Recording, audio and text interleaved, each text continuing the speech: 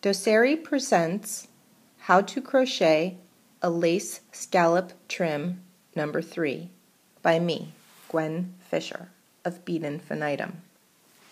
Doceri is the premier software suite for creating educational screencasts. So here are two bracelets that I made. Um, the top is made with a lace weight silk and the bottom one is made with mohair and other fibers. And I added some buttons here. Here's some information about the kinds and sizes of buttons I used. And this is the general method that we're going to use to construct the scallops. We're going to crochet this building up. Um, and then you can turn the thing into a bracelet.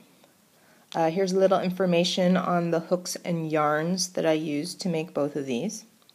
Uh, so you can see that even though the crochet hook sizes weren't that much different, the, the finished pieces are actually quite different in size.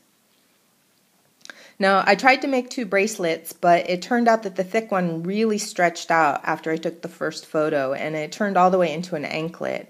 And to um, shorten it back down again into a bracelet, what I did was I, I wove contrasting yarn through the holes.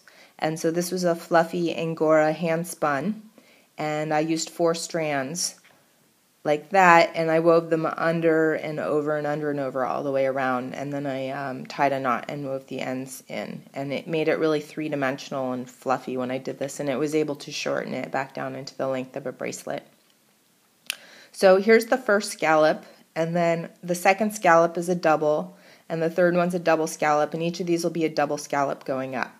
So to start this, um, I want to show you my legend of stitches. So we have chain stitch, slip stitch, single crochet, half double crochet, and double crochet. And if you don't know how to do these, there's plenty of videos on YouTube that you can find and instructions all over the internet that will show you how to do these five basic crochet stitches. And these are the American versions of them. So to start, we're going to make a slip knot like that.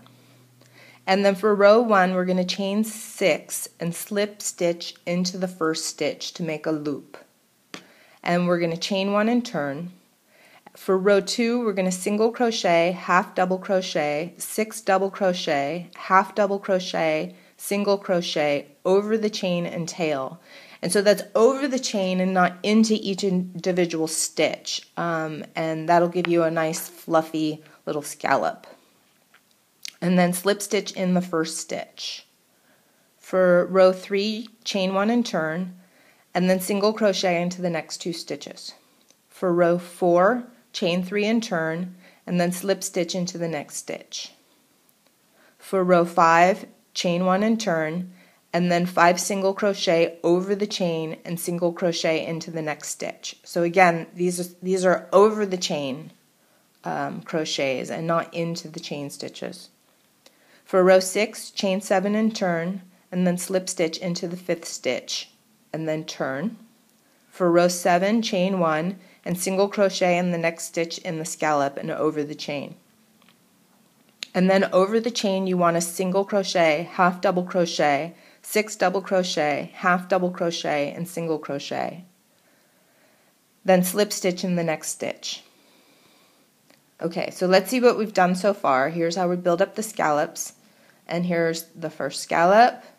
And then we chain and then we complete the first half of the second scallop and then the second half of the second scallop.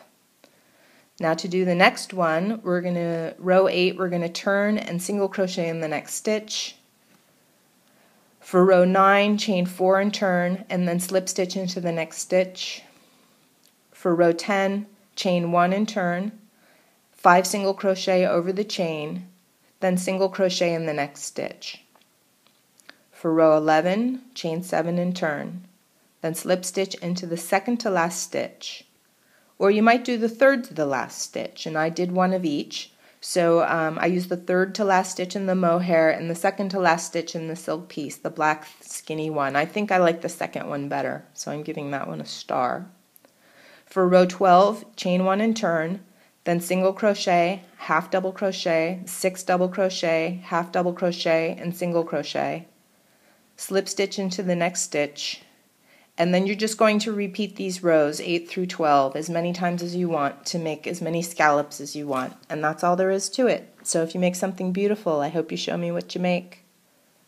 Visit doceri.com for more information about how I created this video and learn to make videos like this for yourself. Thanks. Bye.